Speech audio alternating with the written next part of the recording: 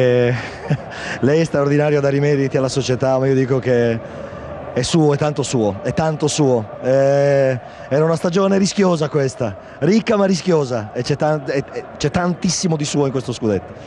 Ma grazie per i complimenti, però credo che alla fine eh, i ragazzi abbiano fatto tantissimo, hanno fatto tutto. Eh, la società mi ha messo a disposizione una, una squadra importante. I ragazzi sono stati bravi ad accettare spesso le mie decisioni, sempre le mie decisioni. Purtroppo sono rimasti giocatori fuori che hanno fatto la storia del Milan e, e la dimostrazione che stasera il gruppo era unito, siamo tutti a Roma, cercare di festeggiare tutti insieme, 10 ragazzi sono dovuti andare in tribuna e questo credo che sia la forza è stata la forza di quest'anno di questa squadra. Ha fatto lei uno splendido giro della curva, ha dato il 5 a tutti ed è diventato, ed è diventato Massimo, non era più Massimiliano, Massimo Massimo. Eh? Stasera è entrato nel cuore di tanti tanti milioni di tifosi, mister. Eh, fa, per me è una soddisfazione enorme perché credo al primo anno arrivare al Milan e riuscire a vincere questo scudetto mh, eh, credo che forse non ne sto neanche rendendo conto. Eh, però è una cosa bella diventerà bellissima credo da domani.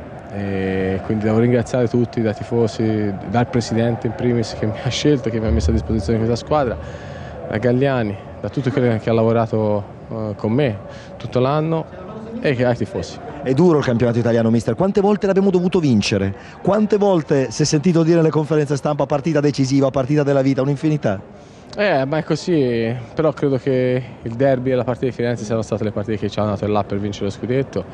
Eh, io ero convinto anche prima del derby eh, che arrivassimo in fondo, sicuramente non era un momento facile, però la squadra ha dato dimostrazione eh, che, della forza e quindi non per caso credo che siamo da 26-27 giornate in testa al campionato e più di così credo che questi ragazzi non potessero fare. Stasera mister, il primo tempo era uno 0-0 mezzo e mezzo, nel secondo tempo uno 0-0 imposto da noi da una grande prestazione. Ma nel secondo tempo la squadra ha fatto una grande prestazione, dimostrazione che il primo tempo diciamo, abbiamo un po' cazzeggiato, il secondo tempo abbiamo giocato bene.